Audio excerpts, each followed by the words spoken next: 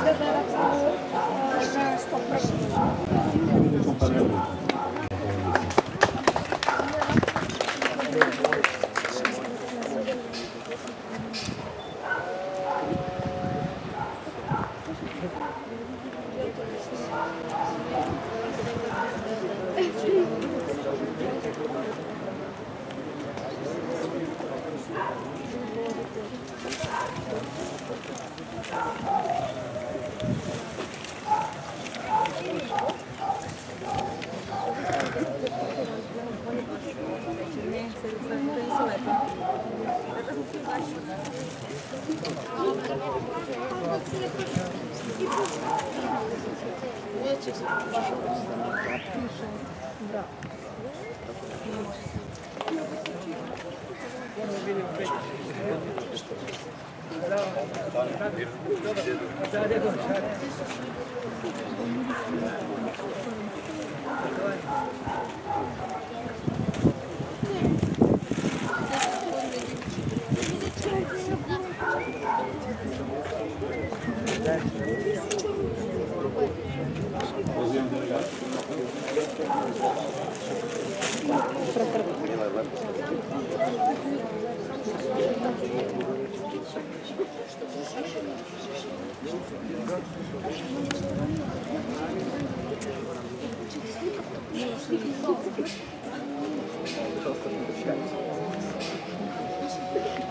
Pozivam delegaciju